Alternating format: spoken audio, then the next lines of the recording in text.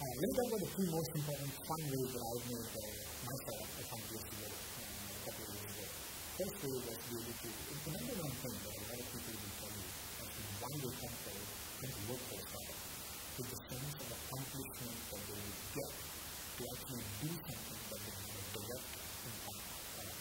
So more than the money, more than the ability for them to see an upside, they come because the impact of their work is something that can directly help them forward forward. As opposed to working five layers below in an university in years. In this particular case, as soon as they make something as a product, they will see the customer feedback. The first thing you can do to make sure that you attract and make this, uh, the site of yours and workplace of yours is actually for a lot of empowerment and create a culture in an organization of empowerment. The second part of it is that a couple of elements of the culture that actually make it very good to be able to attract good people, makes a people a great place to work.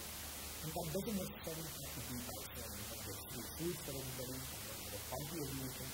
But whatever is, whatever it is that makes you special and unique, which you can differentiate by a whole lot of different ways, would be something that you want to reinforce on an ongoing basis. Give you some examples. I mean, one of the companies that I work uh, with as a, as a mentor, uh, the unique thing they find different about themselves is that they would actually allow every employee in the company to be able to take a trip to Netherlands where a lot of customers actually spend a lot of time learning how to be able to do high-speed. So that actually went through the course for a of different people. So a couple of bunch of people who love biking, but they didn't have the chance to do it as well.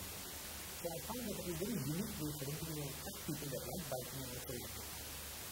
So find something that is unique and different that makes your people want to be able to.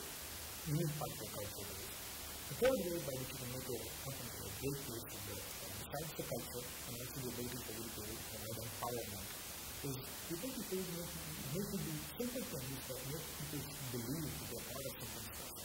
So lots of different ways you can do it. Uh, I know company called Back to Learn, but it's all the employees out on Fridays in the morning for, for a movie, but the whole company does that. Every Friday they go for a movie. And every Saturday they actually play board games together. And another company actually based in, in Bangalore that takes every one of their employees together to be able to go and do volunteer tree planting every once in a while. So there's a little bit to build bonding, build culture, and build a way for people to be able to make sure they're connected with each. This helps you make a, uh, workplace a great place to work, and also gives you a ability